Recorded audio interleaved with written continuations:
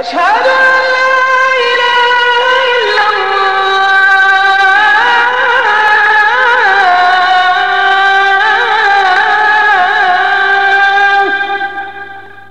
أشهد أن محمدا رسول الله. بسم الله الرحمن الرحيم. الحمد لله رب العالمين. والصلاة والسلام على أفضل الأنبياء والمرسلين محمد وعلى آله وأصحابه ومن تبعهم بإحسان إلى يوم الدين وبعد. فسبحانك لا علم لنا إلا ما علمتنا إنك أنت العليم الحكيم. رب اشرح لي صدري ويسر لي أمري واحلل عقدة من لساني يفقه قولي. اللهم علمني ما ينفعني وانفعني بما علمتني. கண்ணியத்திற்குரிய அல்லாஹுவின் அடியார்களே அல்லாஹுவை போற்றி புகழ்ந்த பின் அல்லாஹுடைய தூதர் மீது செலவாத்தும் சலாமும் கூறிய பின் ஆரம்பம் செய்கிறோம். அல்ஹம்துலில்லாஹ் தொடர்ந்து இமாம் முஹம்மது பின் இஸ்மாயில் அல் புகாரி ரஹிமஹுல்லா அவர்களுடைய அஸ்ஸஹீஹ் கிரந்தத்திலிருந்து கிதாப் அல் இஅ்திஸாம் பில் கிதாபி வசுன்னா அல்லாஹுவின் வேதத்தையும் நபியின் வழிமுறைகளையும் பற்றி பிடித்தல் என்ற பிரிவை நாம் படித்து வருகின்றோம் அதிலே இன்று இன்ஷா அல்லாஹ் அதாவது இரண்டு பாடங்களை படிக்க இருக்கின்றோம் அதில் முதலாவது பாடம் பாபு கௌலின் நபி ஸல்லல்லாஹு அலைஹி வஸல்லம் لا تزال طائفة من أمتي ظاهرين على الحق வஹும் அஹ்லுல் எல்மி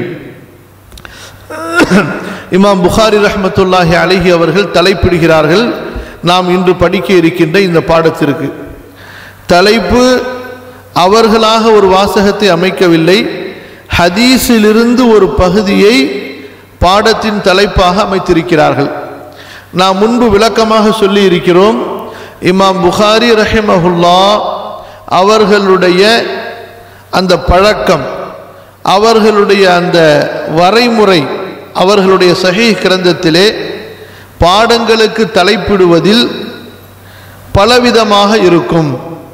அதிலே ஒரு விதம் என்ன? ஹதீஸின் ஒரு பகுதியை அப்படியே தலைப்பாக அமைத்து விடுவார்கள். சில நேரங்களில் ஹதீஸிலிருந்து அவர்கள் எடுத்த சட்டத்தை தலைப்பாக வைத்து விடுவார்கள். சில நேரங்களில் சஹாபாக்களுடைய அல்லது தாபியீன்களுடைய கூற்றை தலைப்பாக ஆக்கி விடுவார்கள். சில நேரங்களில் மாற்று கருத்துடையவர்கள் என்ன சொல்கிறார்களோ அதை தலைப்பாக வைத்துவிட்டு மாற்று கருத்துடையவர்கள் சொல்வதற்கு ஆதாரம் இல்லை.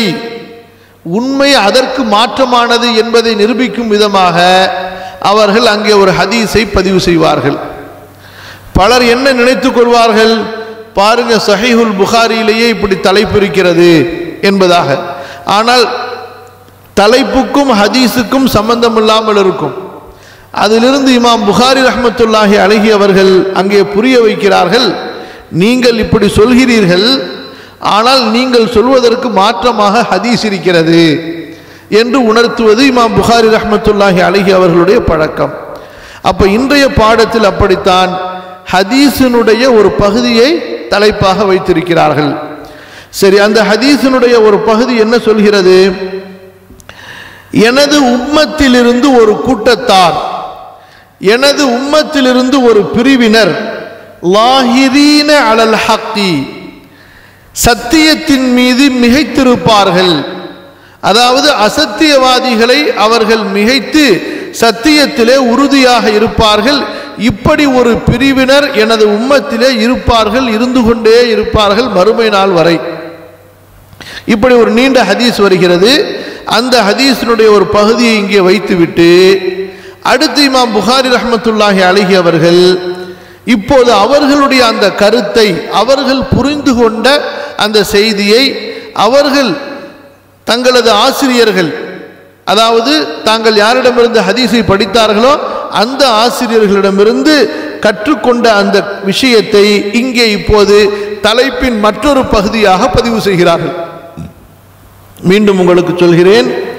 தலைப்பினுடைய ஒரு பகுதி ஹதீஸினுடைய ஒரு பகுதி. தலைப்பினுடைய இன்னொரு பகுதி என்ன? இமாம் புகாரி ரஹமத்துல்லாஹி அலிஹி அவர்களுடைய கருத்து. ஹதீஸ் என்ன சொன்னது? எனது உம்மத்தில் ஒரு கூட்டத்தார் சத்தியத்தின் மீது வெற்றி பெற்று இருப்பார்கள் இது ஹதீசனுடைய ஒரு பகுதியின் கருத்து. இமாம் புகாரி ரஹமத்துல்லாஹி அழகி அவர்கள் என்ன சொல்கிறார்கள்? எனது உம்மத்திலே ஒரு கூட்டம் வெற்றி பெற்றிருப்பார்கள் என்று ரசூலுல்லாஹி சொல்லல்லாஹு அழகி வசல்லம் சொன்னது அவர்கள் யார் என்றால் ஹும் அஹ்லுல் இல்மி. அவர்கள்தான் இல்முடையவர்கள். அப்போ இந்த ஹதீஸானது ஆட்சியை பற்றி அதிகாரத்தை பற்றி அரசியலை பற்றி குறிக்கவில்லை. இல்மை பற்றி குறிக்கிறது. எனது உம்மத்திலே ஒரு கூட்டம் சத்தியத்திற்காக போராடி சத்தியத்தை நிலைநாட்டி அதை கற்று கற்பித்து கொண்டிருப்பார்கள். அவர்கள் வெற்றி பெற்றவர்களாக இருப்பார்கள். அவர்களது கையிலே ஆட்சியும் இருக்கலாம். ஆதாரத்தால் மிகைத்திருப்பார்கள் ஆட்சியாலும் மிகைத்திருப்பார்கள்.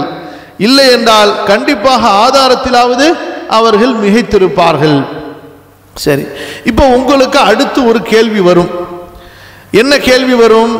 ஹதீஸிலே உம்மத்தில் ஒரு கூட்டம் வெற்றி பெற்றிருப்பார்கள் என்று வந்திருக்க இமாம் புகாரி ரஹிமஹுல்லா அவர்கள் அகலுல் இல்ம் அந்த கூட்டத்தார் இல்முடையவர்கள். இல்ம் என்றால் என்ன என்பதை முந்தைய பாடங்களிலே சொல்லியிருக்கிறோம். இல்ம் என்பது குரான் இல்ம் என்பது சுன்னா இல்ம் என்பது சஹாபாக்களுடைய கூற்றுகள். இல்ம் என்பது அந்த தாபியின்களுடைய கூற்றுகள். இதுதான் இல்ம் என்று சொல்லி இருக்கிறோம் அப்ப இமாம் புகாரி என்ன சொல்ல வருகிறார்கள் ரஹிமஹுல்லா?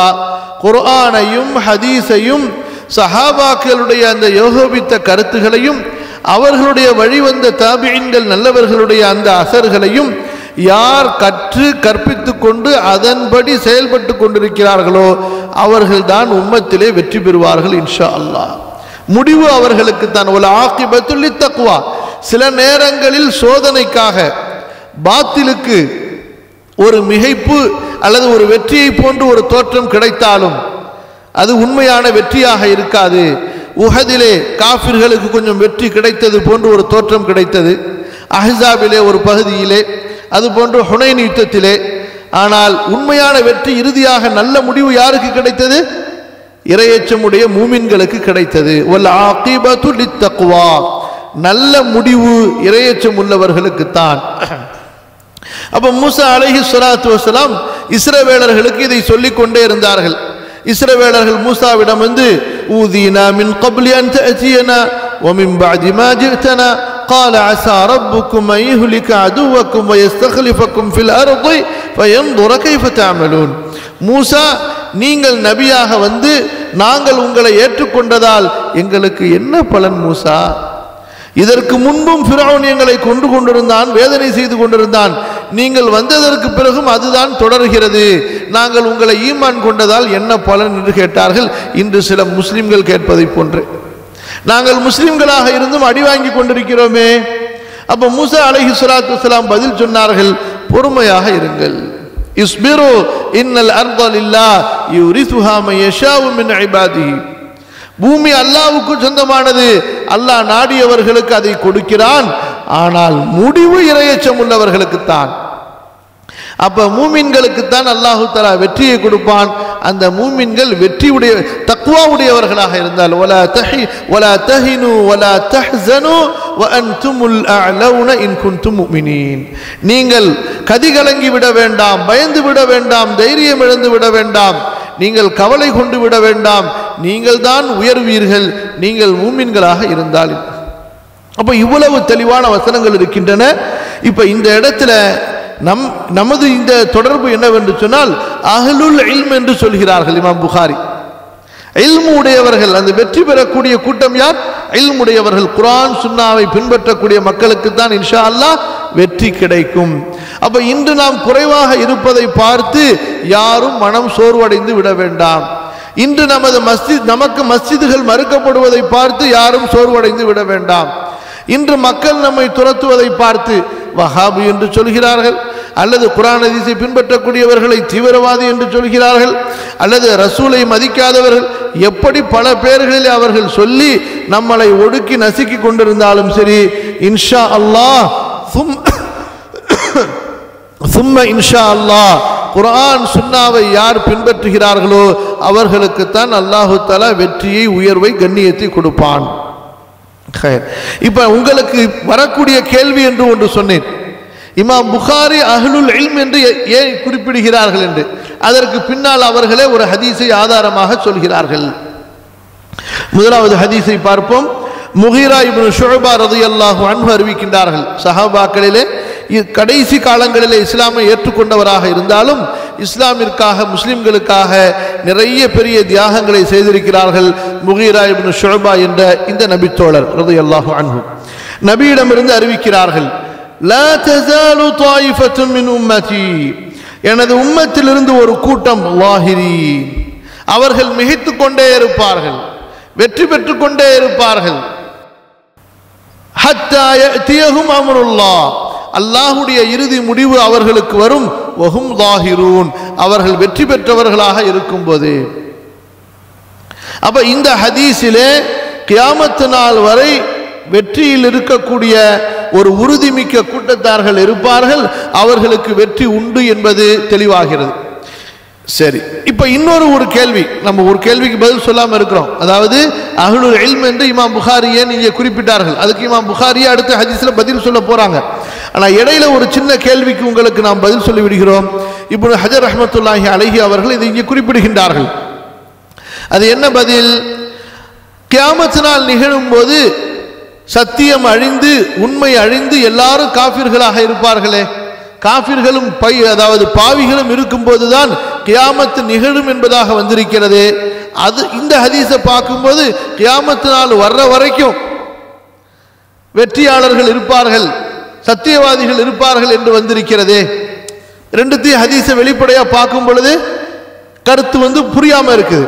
அப்போ இதற்கு என்ன விளக்கம் சொல்கிறார்கள் என்றால் அல்லாஹ் சுபஹானகுவத்தாலா எப்போது கியாமத்தினால ஏற்படுத்த வேண்டும் என்று முடிவு செய்திருக்கிறானோ அதுவரை சத்தியவாதிகள் தான் வெற்றி பெற்றுக் கொண்டிருப்பார்கள் சத்தியவாதிகள் தான் இருப்பார்கள். எப்ப அல்லாஹ் சுபஹானஹு மறுமையை நிகழ்த்த வேண்டும் என்று அவனது முடிவை செய்து விட்டானோ அப்போது இந்த சத்தியவாதிகள் குறைந்து குறைந்து சத்தியவாதிகளே இருக்க மாட்டார்கள் அந்த நேரத்தில். அப்ப சத்தியவாதிகள் இருந்து அசத்தியவாதிகள் அவர்களை மிகைத்திருந்தால்தான் இந்த ஹதீஸுக்கு அது முரண்பாடு என்று வரும். புரிகிறதா? சத்தியவாதிகளே அப்போது இருக்க மாட்டார்கள். எல்லாம் ம- இ- இறந்து விடுவார்கள். நல்லவர்களை எல்லாம் அல்லாஹ் சுப்ஹானஹு கைப்பற்றி கொள்வான்.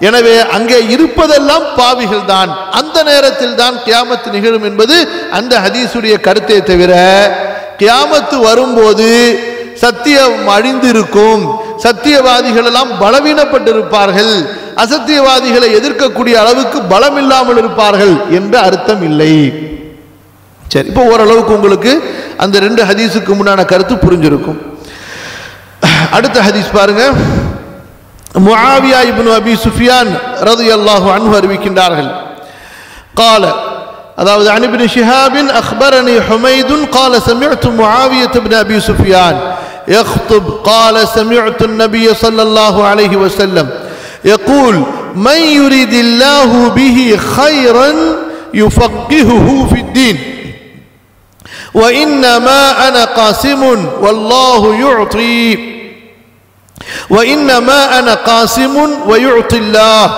ولن يزال أمر هذه الأمة مستقيما حتى تقوم الساعة أو حتى يأتي أمر الله عز وجل அல்லாஹுடைய தூதர் ஸல்லல்லாஹு அலைஹி வஸல்லம் கூற நான் கேட்டிருக்கிறேன் என்று முஆவியா இப்னு அபி சுஃபியான் ரலியல்லாஹு அன்ஹு மிம்பரிலே கூறுவதை ஹுமைத் கேட்டு நமக்கு அறிவிக்கின்றார்கள் நபி அவர்கள் என்ன சொன்னார்கள் அல்லாஹு தஆலா யாருக்கு நன்மையை நாடி விடுகிறானோ அல்லாஹு தாலா யாருக்கு நன்மை செய்ய நாடுகிறானோ ஹைரை நன்மையை கொடுக்க நாடுகின்றானோ அவருக்கு அல்லாஹு தாலா தீனிலே மார்க்கத்திலே ஈமானிலே இஸ்லாமிலே விளக்கத்தை ஞானத்தை அறிவை கொடுப்பான். யு ஃபிக்ஹ் என்ற பதத்திலிருந்து வந்தது. அப்போ அல்லாஹு தாலா ஒருவருக்கு நன்மையை நாடி இருக்கிறான் அவரை அல்லாஹ் நேசித்திருக்கிறான் என்பதற்கு அடையாளம் அல்லாஹுடைய தீனுடைய இல்ம் அவர் கிடைக்கப்பெறுவது. தீனுடைய இல்மு கிடைக்கப்பெற்றவர் அல்லாஹ் அவருக்கு நன்மையை நாடி இருக்கிறான் என்பதற்கு அடையாளம். ரசூலுல்லாஹி ஸல்லல்லாஹு அலைஹி வஸல்லம் அடுத்து சொல்கிறார்கள் நானோ பங்கு வைக்கக்கூடியவன் தான். அல்லாஹுதான் கொடுக்கிறான். கொடுப்பவன் அல்லாஹுதான் அதாவது இல்மை நான் உங்களுக்கு பிரித்து கொடுக்கிறேன். அந்த இல்மை இறக்கக்கூடியவன் யார்? அல்லாஹு தாலா ஏனென்றால் குர்ஆனாக இருக்கட்டும் சுன்னா என்ற அல் ஹிக்மா ஞானமாக இருக்கட்டும் அதை அல்லாஹ்வுடைய தூதருக்கு முஹம்மது ரசூலுல்லா சல்லல்லாஹு அலைஹி வசலம் அவர்களுக்கு கற்பித்து தரக்கூடியவன் யார்? அல்லாஹ். ஏனென்றால் அஹ்லு சுன்னாவாகிய நமது நம்பிக்கை என்ன? ஹதீஸ் என்பதும் அல்லாஹுவின் புறத்திலிருந்து நபிக்கு கொடுக்கப்பட்ட ஒன்று. ஆனால் குரான் என்பது ஓதப்படக்கூடிய ஒன்று ஹதீஸ் என்பது அப்படி அல்ல. ஹதீஸ் படிக்கப்படும் படித்து கொடுக்கப்படும் ஆனால் குரானை போன்று ஓதப்படக்கூடியது கிடையாது. புரிகிறதுங்களா? தொழுகையிலே ஓதப்படக்கூடிய ஒன்று கிடையாது. புரியுதா இல்லையா? ஹதீஸும் அல்லாஹுவின் புறத்திலிருந்து வந்ததுதான். இந்த நம்பிக்கை மூமின்களுக்கு உறுதியாக தெளிவாகிவிட்டால் இன்ஷா அல்லாஹ் அவர்கள் மௌத்து வரை வழிகிட மாட்டார்கள். யார் ஒருவருக்கு ஹதீஸிலே சந்தேகம் இருக்கிறதோ அவர் பல வகையிலே வழிகிடுவார். சில நேரங்களிலே ஹதீஸே வேண்டாம் என்று சொல்லிவிடுவார். ஹதீஸை மறுப்பவர்களைப் போல சில நேரங்களிலே ஹதீஸிலே சந்தேகங்களை உண்டாக்குவார்கள். நயவஞ்சகர்களைப் போல ரசூலுல்லா ஸல்லல்லாஹு அலைஹி காலத்தில் இருந்தார்கள். இந்த காலத்திலும் நயவஞ்சகர்கள் இருப்பார்கள். ஹதீஸை உண்மையாக ஏற்றுக்கொண்டாலும் அதனுடைய கருத்து அறிவுக்கு சிந்தனைக்கு யதார்த்தத்திற்கு முரண்படுகிறது என்று கூறி அப்படிப்பட்ட ஹதீஸுகளை எல்லாம் ரசூலுல்லா சொல்லி இருக்க மாட்டார்கள் என்று நாம் நம்பிக்கை கொள்ள வேண்டும் என்று சொல்வார்கள். எப்படி? அவர்களுடைய வாதம் என்ன? சனது சரியாக இருந்தாலும் ஹதீஸ் அவர் இவர் இந்த சிந்தனையாளர்களுடைய கருத்தின்படி குரானுக்கோ ஹதீஸு குரானுக்கோ இவர்கள் அறிந்து வைத்திருக்கக்கூடிய இஸ்லாமிய அடிப்படைகள் என்ற அந் அவர்களுடைய கொள்கைக்கோ முரண்படும் போது அந்த ஹதீஸுகளை எப்படி எடுத்துக்கொள்ள வேண்டுமா? சனது சரியா இருந்தாலும் எப்ப இது குரானோட முரண்படுதோ அல்லது வந்து இவர்களுடைய யதார்த்த அறிவோட முரண்படுதோ அப்ப ரசூலுலா இப்படி சொல்லியிருக்க மாட்டாங்க. பின்னாடி வந்தவங்க ஏதோ தப்பா விளங்கி ஏதோ தப்பா உள்ளார புகுத்தி விட்டார்கள் என்று எடுத்துக்கொண்டு அந்த மாதிரி ஹதீஸுகள் எல்லாம் நம்ம நிராகரிச்சிடணுமா நிறுத்தி நிறுத்தி வைக்கணும்னு சொன்னா அதுவே சொல்லக்கூடாது.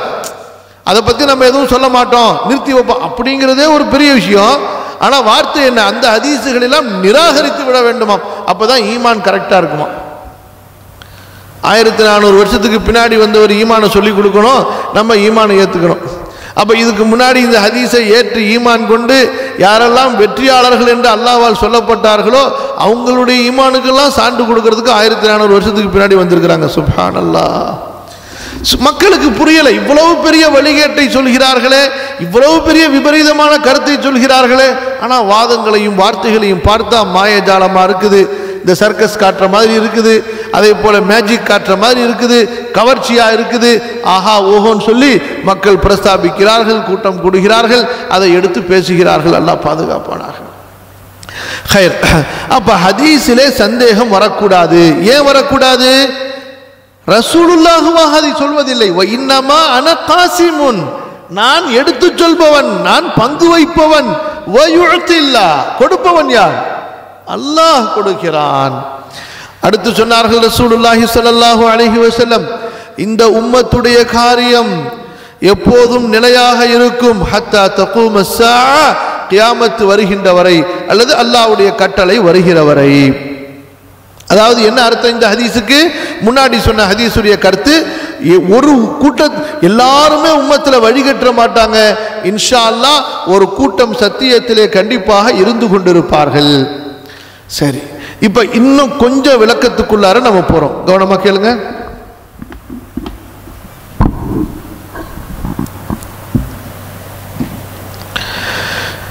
அப்ப ரசூலுல்லாஹி ஸல்லல்லாஹு அலைஹி வசல்லம் சொன்னார்கள் சத்தியத்திலே ஒரு கூட்டம் நிலைத்திருக்கும் என்று. அந்த கூட்டம் யார் என்ற வாதம் வரும்போது இமாம் புகாரி ரஹிமஹுல்லா சொன்னார்கள் அஹ்லுல் இல் இல்முடையவர்கள் என்று. அப்ப இவர்கள் முன்கூட்டி சொல்லி வைத்து வந்திருக்கிறார்கள் நமக்கு. இல்ம் என்பது குரான் சுன்னா சஹாபாக்களுடைய கூற்றுகள் என்று. சரி இப்ப இது குறித்த விளக்கத்தை தான் நாம் பார்க்க போகிறோம். என்ன விளக்கம்? இந்த ஹதீஸை ஒவ்வொரு கூட்டத்தார்களும் தங்களுக்கு சாதகமாக எடுக்கிறார்கள்.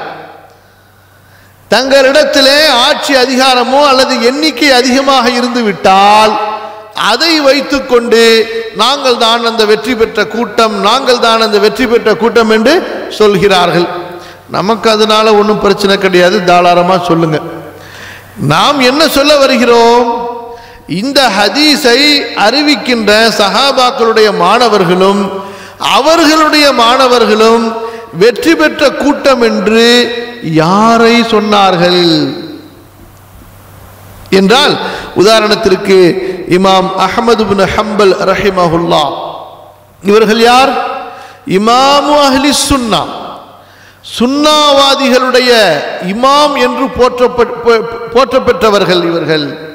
எல்லா தரப்பு அறிஞர்களும் ஃபிக்ஹுக்களை அறிஞர்களாக இருந்தாலும் அல்லது உசூலுடைய அறிஞர்களாக இருந்தாலும் அல்லது சுன்னாவுடைய தப்சீருடைய அறிஞர்களாக இருந்தாலும் இமாமு அஹலி சுன்னா சுன்னாவுடைய இமாம் இவர்கள் சுன்னாவை ஏற்றுக்கொண்டவர்களின் இமாம் என்று இவர்களை அங்கீகரிக்கக்கூடிய ஒரு இமாம்.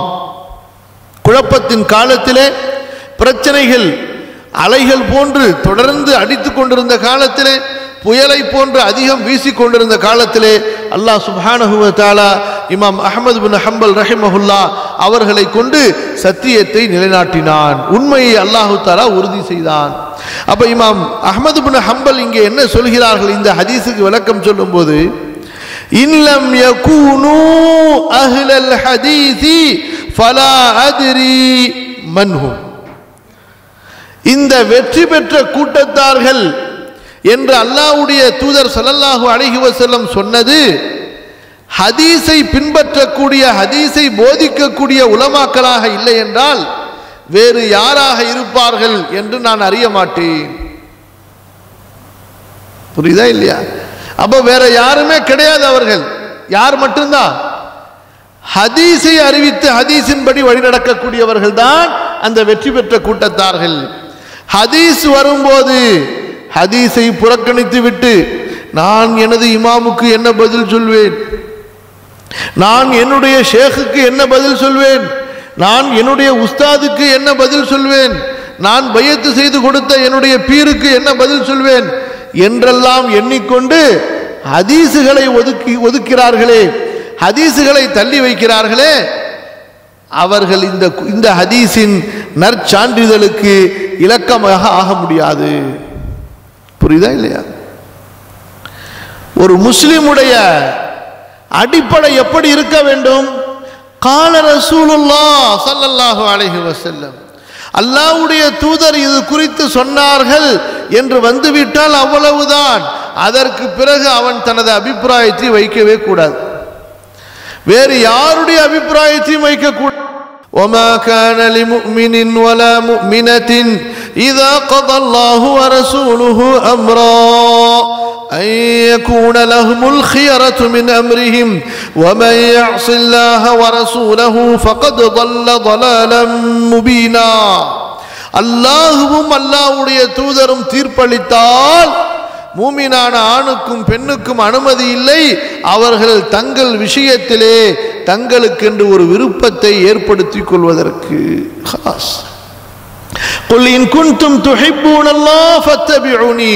நபியே நீங்கள் சொல்லுங்கள் நீங்கள் அல்லாஹுவை நேசிப்பவர்களாக இருந்தால் என்னை பின்பற்றுங்கள் நபியை பின்பற்றுங்கள். அப்போதுதான் அல்லாஹ் உங்களை நேசிப்பான் அல்லாஹ் உங்களை மன்னிப்பான். அப்ப நபியா இமாமா நபியா ஷேகா நபியா தலைவரா என்று வந்தால் ஒரு மூமின் யாரை முற்படுத்த வேண்டும்?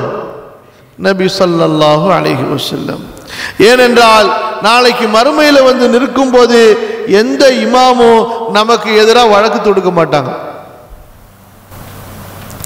இமாம் அபு ஹனிஃபா ரஹமத்துல்லாஹி அழகி அவர்களை பின்பற்றாதவர்களுக்கெல்லாம் இமாம் அபு ஹனிஃபா எதிராக வழக்கு தொடுப்பார்கள் என்றால் அப்போ ஷாஃபி ரஹமத்துல்லாஹி அவங்களை பின்பற்றினவங்களை என்ன செய்யறது? இமாம் அபு ஹனிஃபா ரஹமத்துல்லாஹி அழகி அவர்களை பின்பற்றியவங்க தான் எல்லாத்துலேயும் ரொம்ப உயர்ந்தவங்கன்னு சொன்னால் அப்போ இமாம் ஷாஃபியுடைய முத்தபியன்கள் என்ன செய்வார்கள்? இமாம் மாலிக்குடைய முத்தபியன்கள் என்ன செய்வார்கள்? இப்படி ஒவ்வொருவரும் தங்களுக்கு இமாமை ஆக்கி கொண்டு நாங்கள் தான் உயர்ந்தவர்கள் நாங்கள் தான் உயர்ந்தவர்கள்னு சொன்னால் அடுத்த கேள்வி எங்கேயாவது இந்த இமாம்கள் நீங்கள் எல்லா ஃபிக்குடைய சட்டங்களிலும் நான் சொல்லக்கூடிய சட்டங்களை மட்டுமே பின்பற்றுங்கள். எனது ஆய்வுதான் சரியான ஆய்வு என்று எங்கேயாவது ஒரு இடத்துல எழுதி வச்சிருக்கிறாங்களான்னு கேட்டால் அப்படியும் கிடையாது.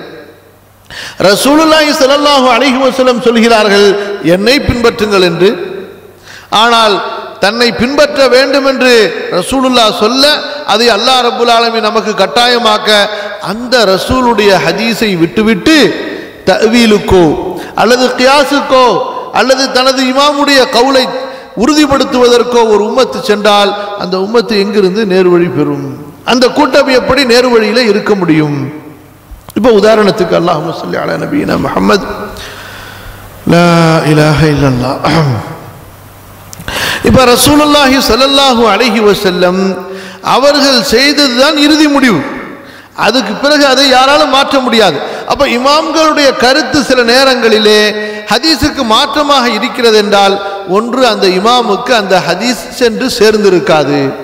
அல்லது அந்த இமாம் அந்த ஹதீஸை சஹீஹான ஹதீஸாக எடுத்திருக்க மாட்டார். அவருடைய பார்வையில் அந்த ஹதீஸ் பலவீனமானதாக இருந்திருக்கலாம். புரியுதுங்களா?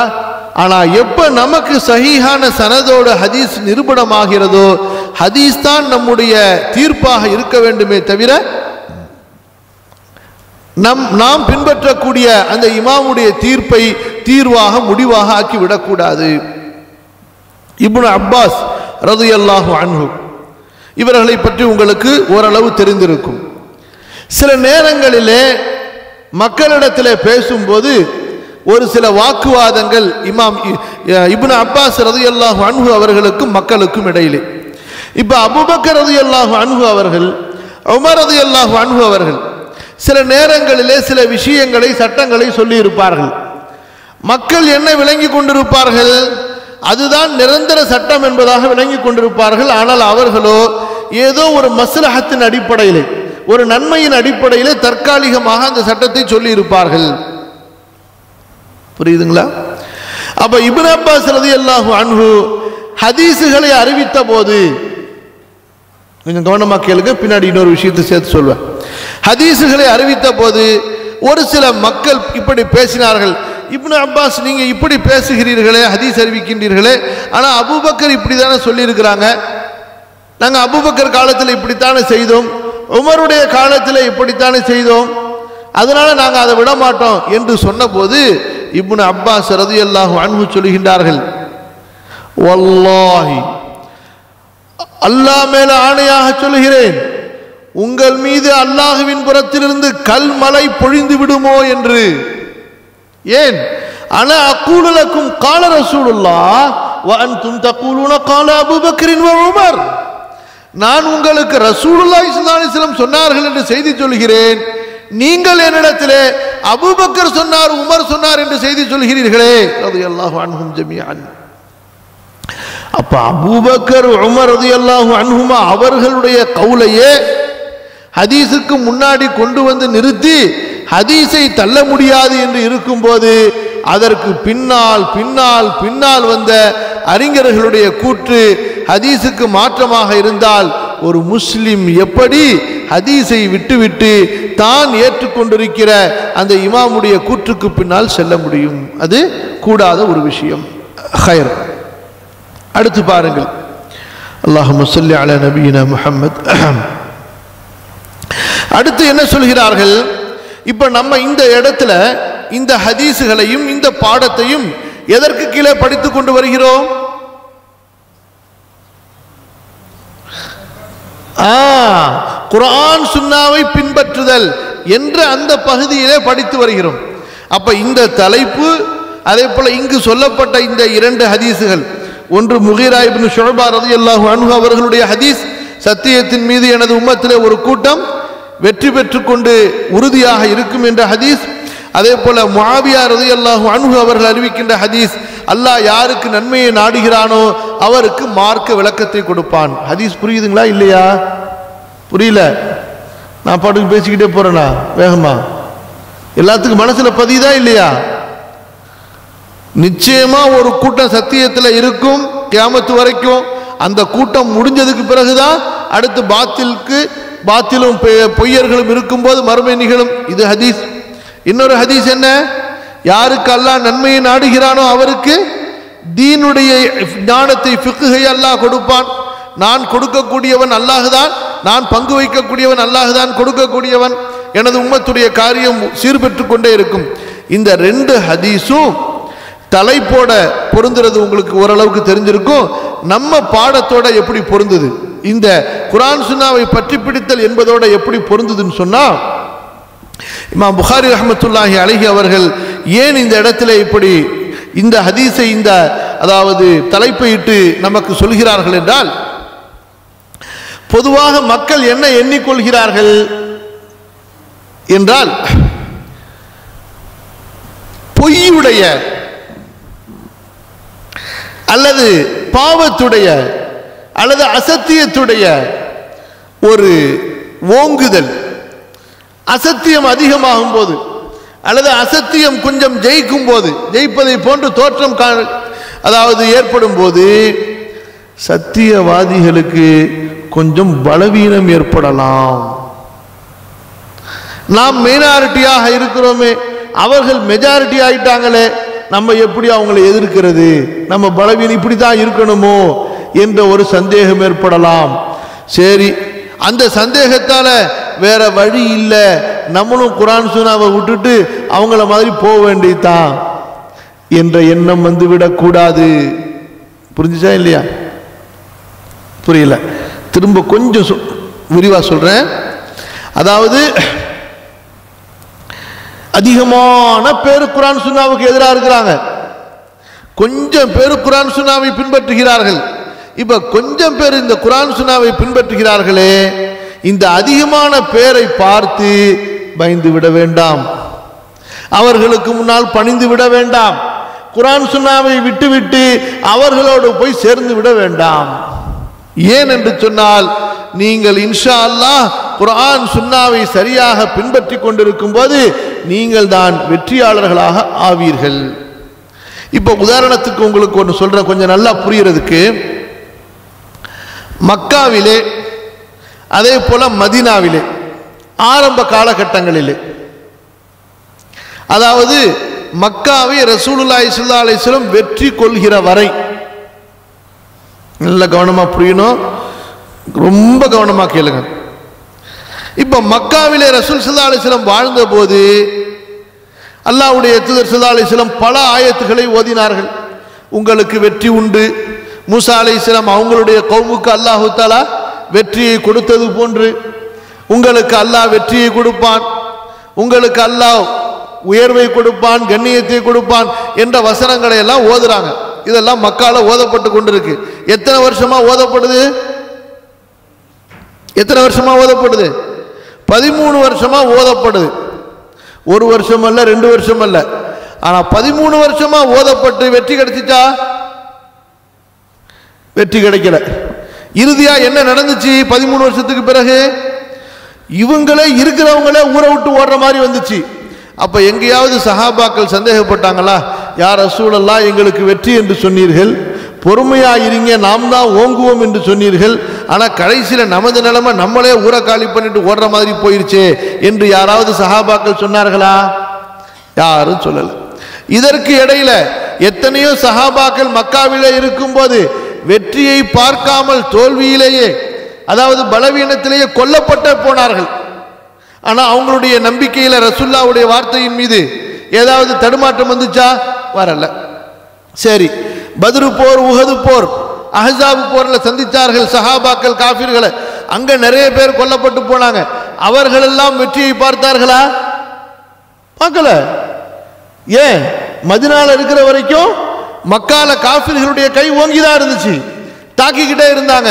அப்போ கூட ரசூல் சல்லா அலிஸ்லாம் அவங்களிடத்துல உண்மையான சஹாபாக்கள் கேட்கல யார் ரசூலுல்லா சரி மக்காவை விட்டு மதினாவுக்கு தான் வந்தோம். இங்கேயாவது வந்து நம்ம நிம்மதியாக இருப்போம் ஒரு ஆட்சி அமைச்சு நம்ம வந்து உயர்ந்திருப்போம்னு சொன்னால் அதுவும் முடியல.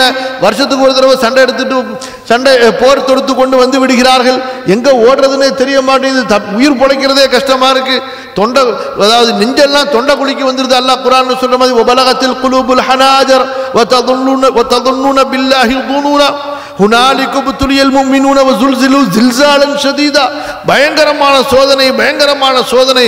அவ்வளவு அச்சுறுத்தல்கள் அவர்களுக்கு வந்தன. அப்போ எங்கேயாவது சஹாபாக்கள் தடுமாறினாங்களா? என்ன ரசூலுல்லா வெற்றி வெற்றி. நம்ம தான் ஹை ஹைன்னு சொல்றீங்களேன்னு சொல்லி. அப்போ ஈமான் அவங்களுக்கு இருந்துச்சு. கடைசியில் அந்த சஹாபாக்கள் வெற்றியை பார்த்தார்களா இல்லையா? அவர்களிலே யார் எஞ்சி இருந்தார்களோ ஆனால் எத்தனையோ நூற்றுக்கணக்கான சஹாபாக்கள் ஷஹீதாகி கொண்டே இருந்தார்கள். நூற்றுக்கணக்கான சஹாபாக்கள் உஹது போரில் மட்டும் எழுபது பேர் ஷஹீதானாங்க. மூத்தா போரில் ஷஹீதானாங்க.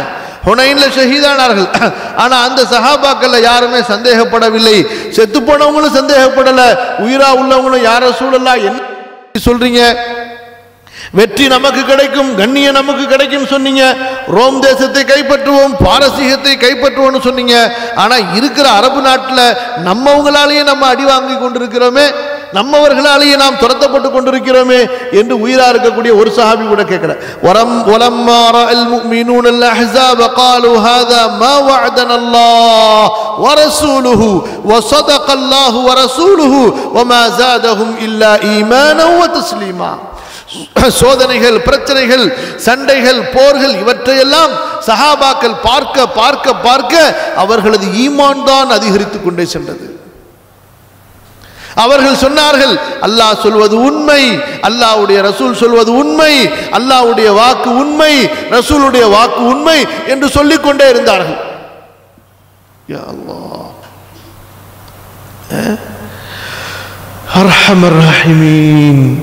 அவ்வளவு பேர் கொல்லப்பட்டு கொண்டே போறாங்க. ஆனா எந்த சஹாபி ஈமான்ல தடுமாறவே இல்லை. கடைசியில ரசூலுல்லா ஸல்லல்லாஹு அலைஹி வசலம் சொன்ன மாதிரி அரபுலகம் கைப்பற்றப்படுகிறது. மக்கா வெற்றிக்கு பிறகு குஃபுர் அரபு நாட்டுடைய குஃபுர் அடியோடு வேரோடு வெட்டி சாய்க்கப்படுகிறது. பிறகு சொன்னார்கள் ரசூலுல்லாஹி ஸல்லல்லாஹு அழகி வசலம் இதா ஹலக கிஸ்ரா ஃபலா கிஸ்ரா பாதஹு வ இதா ஹலக கைசர் ஃபலா கைசர பாதஹு இந்த ரெண்டு பசங்க கடைசி பசங்க இந்த கைசர் செத்தானா அடுத்த கைசர் கிடையாது இந்த கிஸ்ரா செத்தா அடுத்த கை கிஸ்ரா கிடையாதுன்னு சொல்லி. புரியுதா இல்லையா? இந்த கிஸ்ரா செத்தானா?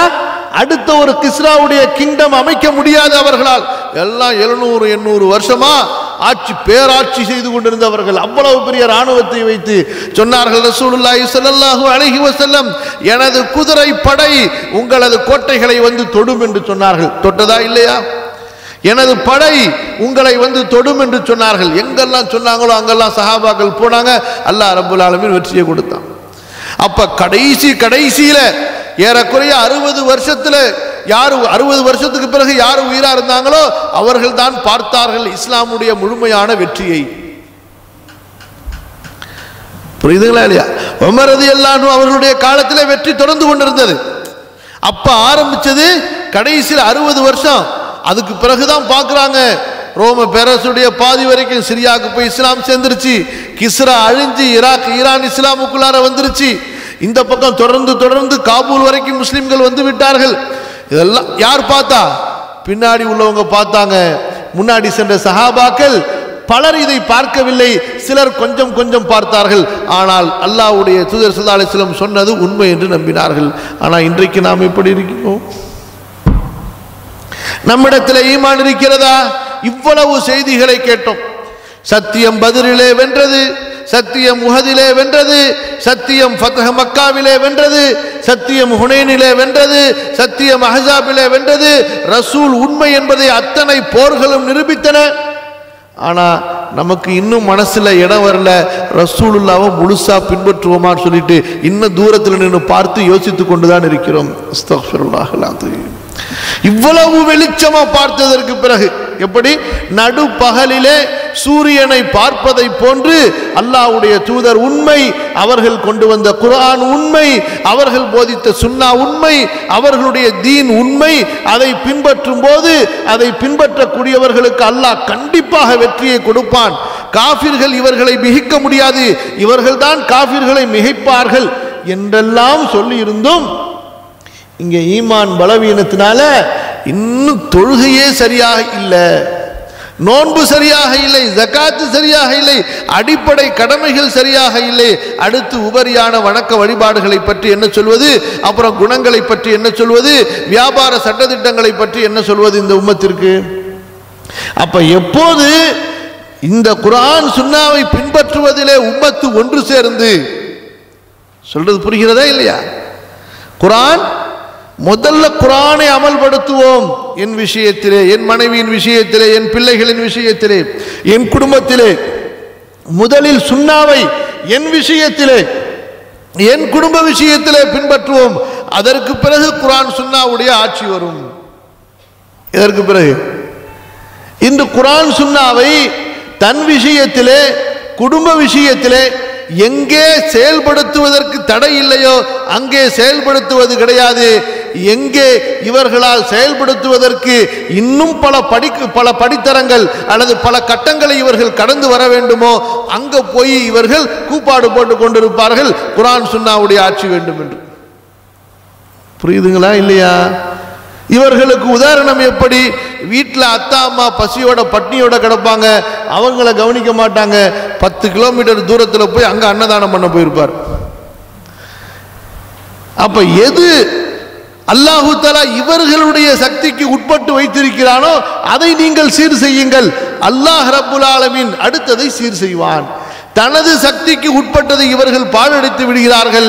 ஆனால் எது அல்லாஹ் தனது கையிலே வைத்திருக்கிறானோ அது என்ன? குல் இல்லாஹும் மாலிக்கல் முல்கி تؤتي الملك من تشاء وتنزع الملك ممن تشاء وتعز من تشاء وتذل من تشاء بيدك الخير انك على كل شيء قدير ஆட்சியை கொடுப்பவன் அல்லாஹ் ஆட்சியை எடுப்பவன் அல்லாஹ் கண்ணியத்தை கொடுப்பவன் அல்லாஹ் கண்ணியத்தை பிடுங்குபவன் அல்லாஹ் அவன் கையில் தான் எல்லா நன்மையும் இருக்கிறது அல்லாஹ் நாடினான் என்று சொன்னால் அவ்வளவுதான் அசைத்து விடுவான் அல்லாஹ் சுப்ஹானஹு வ தஆலா அல்லாஹ் அசைச்சிட்டு அடுத்து அதுக்கப்புறமா எந்த விதமான சிரமம் இருக்காது அல்லாஹ்வுடைய கையில் அதை விட்டுவிட வேண்டும். இந்த இடத்துல ஒரு முக்கியமான நிகழ்வு இந்த இடத்துல பதிவு செய்கிற கவனமாக அதையும் கொஞ்சம் கேட்டுக்கொள்ளுங்க. இப்போ ரொம்ப பேர் பலவிதமான முறையில் ஆட்சி சீர்திருத்தங்களுக்கு கூக்குரல் அதாவது அழைப்பு கொடுக்கிறார்கள். தங்களை சீர்திருத்தாமல் தங்களது குடும்பத்தை சீர்திருத்தாமல் ஆட்சி சீர்திருத்தத்திற்கு அவர்கள் குரல் கொடுக்கிறார்கள். நம்ம எந்த இயக்கத்தை பற்றி சொல்லலை. பொதுவாக சொல்கிறோம். முஸ்லிம்களுடைய நிலை அரசியல் கட்சிகளை பார்த்து பார்த்து இவர்களும் தங்க அரசியல் கட்சிகளை ஆரம்பிச்சுட்டு அந்த மாதிரி அரசியல். சரி அரசியல் கட்சியை ஆரம்பிச்சாலும் நீ அல்லாஹ் ரசூலும் சொன்ன மாதிரி அரசியல் செய். குரான் சுன்னாவின் அடிப்படையில் அரசியல் செய். எ- உனக்கு என்ன வேதம் இல்லையா? உனக்கு என்ன நபியின் வழிகாட்டுதல் இல்லையா? அரசியல் செய்வதற்கு. ஆனால் அப்படி கிடையாது. அவங்க செய்கிற மாதிரியெல்லாம் நாம் செய்வோம். ரசூல் சுல்லா அலிஸ்லம் சொன்னார்கள் அல்லவா? யூதர்கள் கிறிஸ்தவர்கள் மஜூசிகளை பின்பற்றுவீர்கள். அவர்களிலே ஒருவன் உடும்பு பொந்துக்குள் நுழைந்திருந்தால் நீங்களும் உடும்பு பொந்துக்குள் நுழைவீர்கள். அவர்களிலே ஒருவன் தன் தாயோடு படுத்திருந்தால் உங்களிலே ஒருவன் தன் தாயோடு படுப்பான். செருப்பு ஒரு செருப்புக்கு ஒத்திருப்பதை போன்று நீங்கள் யூதர்கள் கிறிஸ்தவர்களை பின்பற்றுவீர்கள். யார மாதிரி அரசியல்? அப்படியே அவர்களை கொண்டு குரான் சுன்னாவுடைய அரசியல் போனது. அப்ப இப்படி அவர்கள் தங்களை தரம் தாழ்த்தி கொண்டே போகிறார்கள். இதன் மூலமாக வெற்றியை இதன் மூலமாக முஸ்லிம்களுக்கு உயர்வை தேடுகிறார்கள். கிடைக்குமா? கிடைக்கவே கிடைக்காது. கேவலம் தான் மிஞ்சிக்கிட்டே போகும் என்ன மிஞ்சம் கேவலம் இடிவுதான் மிஞ்சு கொண்டே செல்லும். அல்லாஹ் பாதுகாப்பானா? நான் சொல்ல வந்த சம்பவம் என்னவென்றால் இஸ்ரவேலர்கள் மூசா அலைஹிஸ்ஸலாமுடைய காலத்துக்கு பிறகு ஒரு பெரிய பிரச்சனைக்கு ஆளானார்கள். அது என்ன பிரச்சனை என்றால் அநியாயக்கார அரசன் ஒருவன் மக்களுக்கு அநீதியாக செயல்படுவது அவர்கள் மீது அநியாயம் செய்வது அவர்களுடைய உரிமைகளை பறிப்பது இதுவே அவனுடைய வழக்கமாக இருந்தது. ஹக்குடையவர்களுடைய ஹக்குகளை கொடுப்பது கிடையாது. அப்ப அந்த காலத்தில் ஒரு பெரிய ஆலிம் ஒரு வணக்கசாலி நல்ல மார்க்க இல்மும் இரையச்சமும் உடையவர் அவர்கிட்ட மக்கள்லாம் வர்றாங்க. ஆலிமே அமாதாரா நீங்க பார்க்கல நமது நிலைமைய? எவ்வளவு பெரிய அநியாயங்கள் அக்கிரமங்கள் நமக்கு மேலே நடந்து கொண்டிருக்கின்றன? இதுக்கு எதிராக நம்ம கிளர்ந்து எழ வேண்டாமா? இந்த ஆட்சியாளருக்கு எதிராக நம்ம புரட்சி செய்ய வேண்டாமா? என்று அவர்கள்ட்ட கேட்கிறாங்க. நீங்க ஒரு வார்த்தை சொல்லுங்க. நாங்கள் அப்படியே மக்கள் எல்லாம் ஒன்று கூடி விடுகிறோம். இந்த அதிகாரியையும் அவ இந்த ஆட்சியாளரையும் அவருடைய இராணுவத்தையும் உண்டும் இல்லாம நம்ம பார்த்துருவோம் என்பதாக வந்து தந்த அறிஞர் இடத்துல சொல்றாங்க. அப்ப அந்த அறிஞர் சொல்றாங்க எல்லாரும் வீட்டுக்கு போங்க. நான் சொல்ற மாதிரி செய்யுங்க. பத்து நாள் எல்லாரும் நோம்பு வைங்க. பத்து நாள் எல்லாரும் நோம்பு வைங்க. இரவெல்லாம் எவ்வளவு முடியுமோ விழித்திருந்து வணக்கம் செய்யுங்கள் இபாதத்து செய்யுங்கள். உங்களுடைய பாவிகள் எல்லாம் தௌபா செய்யட்டும். அல்லாவுடைய சட்டங்களுக்கு மாறு செய்பவர்கள் எல்லாம் அதிலிருந்து திருந்தட்டும். இந்த மாதிரி பத்து நாள் உங்களை சீர்திருத்தம் பண்ணிக்கிட்டு நீங்க வாங்க. இப்போ மக்கள்லாம் நினைத்தாங்க சரி சீர்திருத்தம் பண்ணிக்கிட்டு போன உடனே அடுத்து வாழத்துக்க சொல்லிடுவாங்க. இமாம் அப்படின்னு சொல்லிட்டு எல்லாரும் போனாங்க தங்களுக்குள்ளார ஏ இனிமே நம்ம யாரும் பாவம் செய்யக்கூடாதுப்பா. இனிமே நம்ம சினிமா பார்க்கக்கூடாது. இனிமே நம்ம பாட்டு படிக்கக்கூடாது இனிமே உபச்சாரம் செய்யக்கூடாது இனிமே அது செய்யக்கூடாது இது செய்யக்கூடாது அப்படின்னு அவங்களுக்குள்ளார இருந்த எல்லா தீமைகளையும் ஒன்றன் பின் ஒன்றாக அப்படியே பத்து நாளில் சரி பண்ணாங்க. எல்லாரும் நோன்பு வச்சாங்க அவர்களில். எல்லாரும் இரவு தொழுகைகள் தொழுதாங்க. பத்து நாள் கழிச்சு வந்தாங்க. என்ன இமாம் என்ன செய்யறது இன்னும் ஒரு பத்து நாள் இதே போல இருந்துட்டு வாங்கன்னு சொல்லி. அதே போல பத்து நாள் இருந்துட்டு வர்றாங்க. திரும்ப வராங்க இமாம் என்ன செய்யறது இன்னும் ஒரு பத்து நாள் இதே போல இருந்துட்டு வாங்கன்னு சொல்லி. முப்பது நாளில் திரும்ப வர்றாங்க. இமாம் என்ன செய்யறது இப்போ சொல்லுங்க உங்க கட்டளைக்காக தயாராக இருக்கிறோம். இமாம் சொன்னாங்க இன்னும் ஒரு பத்து நாள் இருந்துட்டு வாங்கன்னு சொல்லிட்டு. பத்து நாள் முடியுது. மொத்தம் எத்தனை நாள்? நாற்பது நாள் முடியுது. மக்கள் எல்லாம் அடுத்து இமாமை சந்திக்கிறதுக்கு வந்துகிட்டு இருக்கிறாங்க.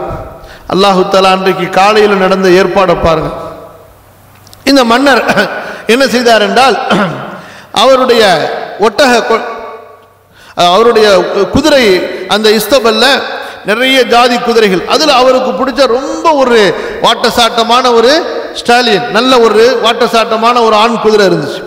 அப்போ தன்னுடைய அந்த மந்திரி இடத்துல சொல்லி எனக்கு அந்த குதிரையை ரெடி பண்ணுங்க. நான் அது மேலே ஊர் சவாரி போகணும். சேனைகளை ரெடி பண்ணுங்க அப்படின்னு சொல்கிறாப்புல ஆனால் இந்த குதிரை அந்த குதிரையை பரிமாறித்து கொண்டிருந்த அந்த குதிரைக்காரர் போய் குதிரை கிட்ட போய் குதிரையை ரெடி பண்ணுறதுக்காக வேண்டி கடிவாளத்தை மாட்ட போனால் குதிரை கொடுக்க மாட்டேங்குது. சீட்டு பேலை போடலான்னு பண்ணால் கொடுக்க மாட்டேங்குது. பார்த்துருக்கலாம் நீங்கள் குதிரை வளர்த்தவங்க நான் குதிரை வளர்த்துருக்குறேன். அதனால் உங்களுக்கு சொல்கிறேன் அதுக்கு திடீர்னு பிடிக்கலன்னு வச்சுக்கோங்க. இப்போ சவாரி போகிறது அவ்வளவுதான். வாயை கொடுக்கவே கொடுக்காது. இப்படி எட்டிக்கிட்டு தூக்கும். அது தூக்குற அளவுக்கு நீங்கள் ஏணி வச்சுதான் அப்படி ஏணி வச்சு நீங்கள் இப்படி ஸ்டூல் போட்டு ஏறினீங்கன்னு வச்சுங்க அப்படியே இப்படியே திரும்பும். உங்கள் ஸ்டூலை திருப்ப முடியுமா நீங்கள் ஒன்றும் திருப்ப முடியாது. சரி. இப்போ குதிரைக்கு மேலே சீட்டு போடலான்னு சொல்லிட்டு நீங்கள் போனீங்கன்னு வச்சுங்க அது முன்னங்கால தூக்கும். சீட்டு எப்படி உட்காரும்? ஸ்டடியாக இருந்தால் தானே போட்டு நீங்கள் பெல்ட்டை போட முடியும். நீங்கள் இப்படி பிடிச்சி அழுத்துனீங்கன்னு வச்சுங்க இப்படி தூக்கும் அது. அது முடிவு பண்ணுச்சுன்னா அவ்வளோதான் யாரும் அதுக்கு மேலே? சீட்டையும் போட்ட முடியாது கடிவாளத்தையும் போட்ட முடியாது.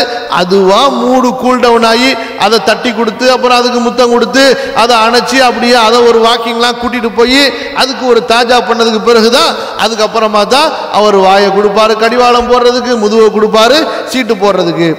அப்போ அந்த குதிரை இப்படி செஞ்ச உடனே மன்னர் கரெக்டாக நேரம் ஆயிடுச்சு வந்து பார்க்குறாரு குதிரையை காண என்னடான்னு கேட்டால் பிரச்சனையாக இருக்குது குதிரை வாங்கியும் கொடுக்க மாட்டேங்குது முதுவையும் கொடுக்க மாட்டேங்குது. நேராக வந்து பார்க்குறாரு. இவர் வந்த உடனே குதிரை அப்படியே கம்மு நின்றுச்சு என்ன செய்றாரு? குரா அப்படின்னு சொல்லி கடிவாளத்தை வாங்கி இவர் மாற்றாரு குதிரை ஒன்றுமே சொல்லலை. சீட்டை வாங்கி இவர் போடுறாரு. குதிரை ஒன்றுமே சொல்லலை. எல்லாத்தையும் போட்டு இழுத்துட்டு வர்றாரு. இழுத்துட்டு வந்து ஏறி உட்கார்றாரு. உட்கார்ந்ததுக்கு பிறகு இந்த குதிரை காட்டுச்சு பாருங்க ஆட்டத்தை. சுபஹான் அல்லாஹி ஹிரபில் ஆலமின். கீழே தள்ளி மிதி மிதின்னு சாணியாக மிதிச்சிருச்சு. இந்த மக்கள் வந்து கொண்டிருக்கிறார்கள். இதுக்கு இடையில இந்த செய்தி ஏன் ராஜாவுக்கு நடக்க இது எவ்வளவு விசித்திரமான செய்தி. காட்டு தீயா பரவி அந்த பள்ளிவாசல் வரைக்கும் வந்துருச்சு. அப்போது அந்த மக்கள் எல்லாம் ரெடியா இருக்காங்க. நாற்பது நாள் ஆயிருச்சு. இப்ப நமக்கு வந்து இமாம் உத்தரவிட போறாங்க. நேரா போய் கோட்டையை அட்டாக் பண்ணுங்கன்னு சொல்லி. நேரா போய் கோட்டையை அட்டாக் பண்ணுங்கன்னு சொல்ல போறாங்க. அப்படின்னு எதிர்பார்த்து கொண்டிருக்கும் பொழுது அங்கே செய்தி வருகிறது. அப்போது இமாம் சொன்னார்கள் ஹா கதா யஃஅலுல்லாஹு பிமலிகிக்கும் இதா கான வாலிமன் வ இதா ஸலஹ்தும் அன்தும். நீங்கள் நேர்வழி பெற்று சீர்திருந்தி விட்டால் உங்களது அநியாயக்கார அரசனோடு அல்லாஹ் இப்படித்தான் செய்வான். நீங்க நேர்வழி பெற்று சீர்திருத்தி விட்டால் உங்களது அநியாயக்கார அரசனோடு அல்லாஹ் இப்படித்தான் செய்வான். எனவே அல்லாஹ் செய்யறதை நீங்க கையில் எடுத்துக்காதீங்க. இப்போ உதாரணத்துக்கு இந்த இடத்துல பிரச்சனைன்னு வந்ததுனால நம்ம சில விஷயங்களையும் உள்ளார சொல்லிக்கிட்டு போனோம். இப்போ இன்றைக்கு இஸ்லாமிய நாடுகளில் சிரியாவாக இருக்கட்டும் எஜிப்தாக இருக்கட்டும் தூனிசியாவாக இருக்கட்டும் இந்த மாதிரி நாடுகளில் பயங்கரமான பல கலவரங்களை கிளர்ச்சிகளை இன்று வரை இரத்த ஆறுகள் ஓட்டப்பட்டு கொண்டிருப்பதை நாம் பார்க்கிறோம். லிபியாவும் கூட. இப்ப இதை வெளிரங்கத்தில் பார்க்கும்போது ஆஹா பெரிய புரட்சி நடந்துருச்சு. அநியாயக்கார அரசன் போயிட்டான். இனி எல்லாருக்கும் விடுதலை என்பதாக பாமரர்கள் எண்ணலாம். ஆனால் நடந்தது என்ன நடக்கிறது என்ன என்று சொன்னால் அதற்கு நேரு மாற்றமாக. ஏன்? இவர்கள் அல்லாவும் ரசூலும் சொல்லாத வழியிலே சென்று சீர்திருத்தத்தை எதிர்பார்த்தார்கள். அப்போ அல்லாஹ் ரசூல் சல்லா அலிஸ்லம் அவர்களும் இப்படிப்பட்ட சீர்திருத்தத்தை இந்த புரட்சியை அவர்கள் அங்கீகரிக்கவே இல்லை. இது ஜிஹாதாக ஆகாது. இது அல்லாவும் ரசூலும் சொன்ன போராக ஆகாது. இது என்ன? மேலும் பிரச்சனையை மோசமாகத்தான் ஆக்கிக்கொண்டே போகும். மேலும் மேலும் முஸ்லிம்களுக்கு தோல்வியை தான் அதிகரித்துக்கொண்டே போகும். என்ன ஆனது இப்போ? லிபியா போனது யார் கைக்குள்ளார? மொத்தமாக எதிரிகளுடைய கைக்குள்ளார. ஈராக் போய்கொண்டிருக்கிறது. அதே போல சிரியா போய்கொண்டிருக்கிறது. அப்பாவி முஸ்லிம்களும் பெண்களும் சிறுவர்களும் கொத்து கொத்தாக கொல்லப்பட்டு கொண்டிருக்கிறார்கள். எஜிப்திலே பலவிதமான ஏறக்குறைய ஐயாயிரத்துக்கு மேற்பட்ட அப்பாவிகள் கொல்லப்பட்டதற்கு பிறகு ஆட்சி வந்தாலும் ஆட்சியால் நிலைத்தன்மை இல்லை. பாதுகாப்பை மக்களுக்கு கொடுக்க முடியவில்லை. அன்றாடம் கொலை கொள்ளைகள் கற்பழிப்புகள் நடந்து கொண்டே இருக்கிறது. எல்லாமே பலவீனப்பட்டு முன்னாடி ஒரு பத்து சதவீதம் அல்லது ஐம்பது சதவீதம் அவர்களால் பிரச்சனை. அதுவும் பொருளாதாரத்தின் அடிப்படையில் அல்லது வேறு விதத்தில் என்றால் இப்போது நூற்றுக்கு நூறு அடிப்படை எல்லா விஷயத்திலும் அடிப்படை வாழ்க்கையிலே பிரச்சனையாக அவர்கள் சந்தித்துக் கொண்டிருக்கிறார்கள். அப்போ அல்லாவுடைய தூதர் செல்லல்லாஹு அழகி வசல்லம் அவர்கள் சொன்ன ஆரோக்கியமான வழிமுறை இது அல்ல. நீங்கள் கிதாபுல் ஃபித்தன் என்ற ஒரு பாடத்தை இந்த இடத்துல நம்ம நடத்துகிறோம் அதை நீங்கள் படிச்சிருந்தா உங்களுக்கு புரிஞ்சிருக்கும். அந்த கிதாபுல் ஃபித்தன்ல பல ஹதீஸுகளை ரசூலுல்லாஹி சொல்லல்லாஹு அழகி வசல்லம் சொன்னதை நாம் உங்களுக்கு அங்கே கற்றுக் கொடுத்தோம். அப்போ சஹாபாக்கள் கேட்டாங்க யார சூழல அநியாயக்கார ஆட்சியாளர் அநியாயக்கார ஆட்சியாளர்கள் வந்தால் என்ன செய்யறது நபிசுல்லா அலிஸ்லம் சொன்னார்கள் உங்களது முதுகிலே சாட்டையிலே அடித்து உங்களது முதுகிலே சாட்டையால் அடித்து உங்களது சொத்துக்களை எல்லாம் எடுத்துக்கொண்டாலும் அவர்களுக்கு எதிராக செல்லாதீர்கள். அவர்களுக்கு எதிராக செல்லாதீர்கள். உங்கள் மீது கடமையாக்கியதை நீங்கள் நிறைவேற்றுங்கள். அவர்கள் மீது கடமையாக்கியதை குறித்து அல்லாஹ் விசாரிப்பான். அப்ப இந்த ஹதீஸ் என்ன சொல்கிறது? இப்ப ஒரு சில ஹதீஸ் இருக்கு. அநியாயக்கார அரசனுக்கு முன்னால் சத்தியத்தை சொல்வது சிற- ஜிஹாதிலே சிறந்த ஜிஹாத் என்று. ரசூல் சுல்லாஹூ அலஹி வசலம் அநியாயக்கார அரசனிடத்திலே சென்று பிரச்சாரம் செய்வதையும் ஹக்கை சொல்வதையும் அதில் சொல்லப்படும் அந்த ஹக்கை சொல்லும்போது கொல்லப்படுவதைத்தான் ஜிஹாத் என்று சொன்னார்களே தவிர அநியாயக்கார அரசனுக்கு எதிராக வாள் என்று சொல்லவில்லை. அவர்களுக்கு எதிராக இன்னொரு மாற்று கட்சியை உருவாக்கி அவர் அங்கே கிளர்ச்சியை ஏற்படுத்த சொல்லவில்லை. சபுராயிருங்க. சபுராயிருங்க. அவர்கள் உங்களது செல்வங்களை எல்லாம் பறித்து கொண்டாலும் சரி அல்லாஹ் உங்களை நீங்கள் உங்களை சீர்திருத்தம் செய்யுங்கள். அல்லாஹ் மாற்றத்தை ஏற்படுத்துவான். அப்போ ஏறக்குறைய அந்த பாடமே நம்ம ஒரு பத்து மணி நேரத்துக்கு மேலே ஒரு ஒரு மணி நேரமாக நம்ம நடத்தியிருக்கிறோம். அந்த ஹதீஸுகளை நீங்கள் கேட்டீர்கள் என்றால் உங்களுக்கு ரொம்ப தெளிவாக புரியும். இந்த மாதிரியான புரட்சி என்ற பெயரிலே சீர்திருத்தம் என்ற பெயரிலே கலகங்கள் செய்வது ஆட்சிகளுக்கு எதிராக அந்த ஆட்சி கலைப்புக்காக வேண்டி போராட்டங்கள் செய்வது இதெல்லாம் இஸ்லாமிய மார்க்கத்திலே தடுக்கப்பட்ட ஒன்று அல்லாஹுவின் தீனிலே தடுக்கப்பட்ட ஒன்று. இதிலே நன்மை இருக்காது இதனால் தீமை தான் இருக்கும். சரி. இப்போ இந்த விஷயம் எதுக்காக வந்துச்சு? இடையில உள்ளார புந்துச்சு எப்படி? ஆ அப்ப குரான் சுன்னாவை நாம் முதலிலே பின்பற்றுவது இதுதான் நமக்கு அல்லாவும் ரசூலும் கொடுத்த கட்டளையை தவிர நாம் குரான் சுன்னாவை நம் விஷயத்துல விட்டுட்டு எதனுடைய உரிமை அல்லாவுடைய கைவசத்தில் இருக்கிறதோ அதிலே சென்று நாம் அங்கே முயற்சி செய்வதிருக்கிறது. அது அல்லாவும் ரசூலும் சொன்ன அந்த தர்த்தீபாக அந்த ஒரு முறையாக ஆகாது. இது ஒரு விஷயத்தை சொன்னோம். இரண்டாவது விஷயத்தை என்ன சொன்னோம் என்று சொன்னால் அதாவது நாம் இப்போது பலவீனமாக இருப்பதை நினைத்து நாம் தோண்டு விடக்கூடாது. மனதிலே ஓஹோ இனிமே நமக்கு அடுத்து வெற்றியே கிடையாதோ நமக்கு உயர்வே கிடையாதோ என்று பயந்து விட தேவையில்லை. நிச்சய நிச்சயமாக குரான் சுன்னாவை பின்பற்றி அதை பிரச்சாரம் செய்து கொண்டு அதற்காக அர்ப்பணிப்பு செய்து கொண்டிருந்தால் நம்மை பலப்படுத்தக்கூடிய ஒரு ஆட்சியாளரை அல்லாஹ் ஏற்படுத்துவான். அல்லாஹு தலா அப்படிப்பட்ட ஒரு ஆட்சியாளரை நமக்கு கொடுப்பான். அவர் மூலமாக இன்ஷா அல்லாஹ் ஜிஹாது நடக்கும் மஸ்ஜிதுல் அக்ஸா மீட்கப்படும். இஸ்லாமை எதிர்க்கக்கூடிய முஸ்லிம்களை எதிர்க்கக்கூடிய எந்த சக்தியாக இருந்தாலும் சரி எத்தனை கோடி ஆட்டம்பாம்புகளை வைத்திருந்தாலும் சரி அவர்கள் நம்மை பார்த்து நடுங்குவார்கள். அவர்களிடத்தில் எவ்வளவுதான் பலம் இருந்தாலும் சரி ரிபி ஆமீர் சாதாரண கழுதையில் மேலாடை கூட இல்லாமல் அதுவும் கிழிந்து போன கீழாடையில் போய் ருஸ்துமுக்கு முன்னாடி நின்னப்ப ருஸ்து மட்டுமல்ல அவனுடைய அத்தனை ஈரானிய படைகளும் அவர்களை பார்த்து பயந்தார்கள் அல்லவா? அப்படி முஸ்லிம்களை பார்த்து காபிர்கள் பயப்படக்கூடிய நேரம் வரும். எப்போது முஸ்லிம்கள் குரான் சுன்னாவை பின்பற்றுவார்களோ உறுதியாக பற்றி பிடிப்பார்களோ. நீங்க குரான் சுன்னாவை விட்டுவிட்டு அவர்களை மாதிரி நீங்களும் எவ்வளவுதான் ஆயுதங்களை எடுத்துக்கொண்டாலும் எவ்வளவுதான் படிப்பு பட்டங்களை சேர்த்து கொண்டாலும் எவ்வளவுதான் துன்யாக்களை நீங்கள் குமித்து கொண்டாலும் சரி அல்லாஹு தலா கண்ணியத்தை கொடுக்க மாட்டான். அல்லாஹு தலா கண்ணியத்தை கொடுப்பது முஸ்லிம் அவனுடைய கூட்டம் என்று நீங்கள் சொல்லிக்கொண்டு கண்ணியத்தை தேடினால் குரான் சுன்னாவுக்கு வாருங்கள். அப்போதுதான் அல்லாஹ்வுடைய கண்ணியம் அல்லாவுடைய உதவி வரும். அல்லாஹ் சுப்ஹானஹு எனக்கும் உங்களுக்கும் அல்லாஹுடைய வேதத்தையும் நபியுடைய சுன்னாவையும் முழுமையாக பின்பற்றக்கூடிய நல்ல அறிவை நல்ல தோஃபியை தருவானாக. அஸ்தக்ஃபிருல்லாஹ் அலி வலக்கும்